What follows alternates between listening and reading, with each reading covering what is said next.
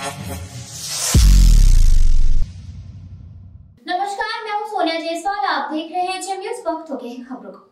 CDS general Rawat के साथ helicopter हादसे में घायल हुए ग्रुप कैप्टन वरुण सिंह का बुधवार को निधन हो गया। इंडियन एयरफोर्स ने ट्वीट कर इसकी जानकारी दी है। एयरफोर्स ने कहा कि ग्रुप कैप्टन वरुण ने गंभीर चोटों की वजह से दम तोड़ दिया है। तमिलनाडु के कुन्नूर में 8 दिसंबर को हेलीकॉप्टर हादसे में घायल होने के बाद पहले उन्हें वेलिंगटन के आर्मी अस्पताल में भर्ती कराया गया था। बाद में उनकी गंभीर हालत को देखते हुए उन्हें बेंगलुरु शिफ्ट किया गया था। वे आठ दिन से ज़िंदगी की जंग लड़ रहे थे। Gallantry award winner group captain Varun Singh सैन्य परिवार से आते हैं। उत्तर प्रदेश के देवरिया निवासी वरुण सिंह का परिवार तीनों सेनाओं से जुड़ा हुआ है। आर्मी नेवी और air force group captain Varun Singh Indian air force से थे।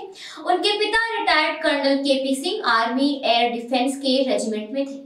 कर्नल केपी सिंह के दूसरे बेटे और ग्रुप कैप्टन वरुण सिंह के छोटे भाई lieutenant commander Tanuj Singh Indian navy में है। का परिवार इन दिनों भोपाल में रहता है। देवरिया उत्तर प्रदेश के रहने वाले ग्रुप कैप्टन वरुण सिंह को इसी साल स्वतंत्रता दिवस पर राष्ट्रपति रामनाथ कोविंद ने शौर्य चक्र से सम्मानित किया था।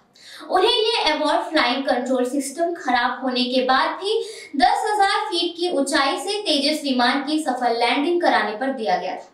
वरुण ने आपदा के समय धैर्य नहीं खोया और आबादी से दूर ले जाकर विमान की सफल लैंडिंग कराई थी। इस काम के लिए उन्हें शौर्य चक्र से भी सम्मानित किया गया था। वरुण ग्रुप कैप्टन अभिनंदन वर्तमान के बैचमेट है। अभिनंदन ने 27 फरवरी 2019 को भारत की सीमा में घुसने वाले पाकिस्तानी विमानों को खदेड़ा था।